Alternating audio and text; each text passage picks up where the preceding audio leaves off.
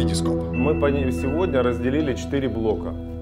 Мы разделили спорт высших достижений, мы разделили спорт в системе образования, мы разделили массовый спорт, и мы разделили четвертый блок, это спортивная инфраструктура. Э, Все они между собой безусловно связаны. Без одного невозможно развитие другого. Но каждый из этих пунктов, он, э, он имеет свою систему организации, имеет свою систему заказа и свои задачи функциональные. И вот мы, развивая эти четыре блока, сегодня э, строим технологию нашей реформы. И мы видим сегодня в реформе три этапа.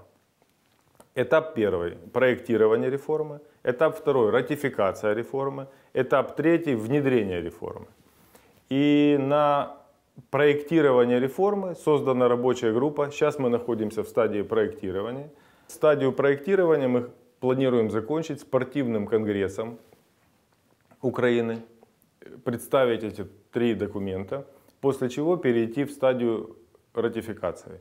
Верховный Совет, администрация президента, э, кабинет министров, то есть какие документы требуют в каком из учреждений э, утверждения. Наша задача пройти ратификацию и перейти к стадии внедрения. Это будет более длительная стадия, поскольку здесь будут переходные положения по трансформации одних организаций в другие, по трансформации отношений.